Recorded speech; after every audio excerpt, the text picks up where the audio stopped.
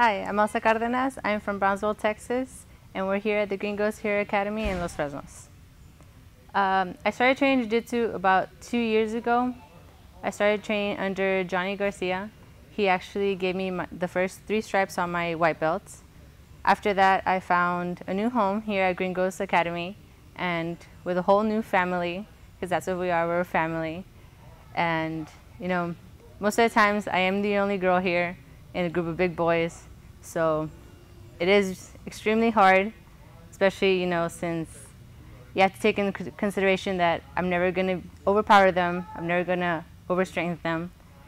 But that just works in my favor because, you know, the harder my training partners are with me here at practice, the easier my opponents will be in an actual competition.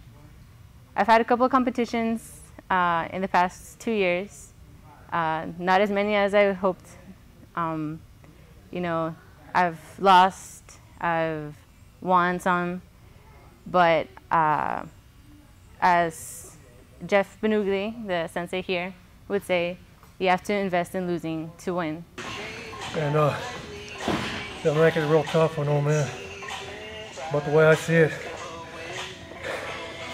if you don't invest in losing, then you're gonna lose. You gotta want to get tapped. And as soon as you get tapped, you learn from that tap. One of the things we're teaching everybody here is get, kick the ego off your shoulder and get tapped. And when you get tapped, learn from the tap. Some of these are going to be world champions here. They just don't know it yet. You physically got to be there. And mentally, you got to be a mental giant. And spiritually, you got to believe you can do it all. And I believe that these folks can do it. I'm 60, and I'm going to give them a run for the money until they keep tapping me over and over and over. And when they tap me over and over and over, I did my job. And I've taken that to heart because, you know, some days you're going to come in and you're going to get your, you know, you're going to get your butt handed to you. And, you know, it's just not going to be your day. Not every day is going to be your day. And some days you're going to feel like you're on top of the world. But that's when you learn the most. That's when you really have to go back to the drawing board and say, you know, this is what I have to work on. And then, you know, from that you gain knowledge and, you know, you gain so much more than uh, if, you know, you were to just win all the time. You know, you wouldn't learn as much.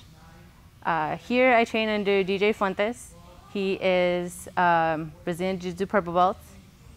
You know, him and Jeff are not only great teachers, but they are amazing human beings you know, they care for you just not only as a student, but also as a person. You know, they they work with you to be the best that you can be, and you know, to so you can really find yourself as an athlete, but also as a person. The thing that I've learned about, you know, the thing that I've uh, learned most about jiu-jitsu is that, you know, not only in jiu-jitsu, but in life as well, uh, the most important lesson is you have to keep moving. And that actually comes from DJ himself.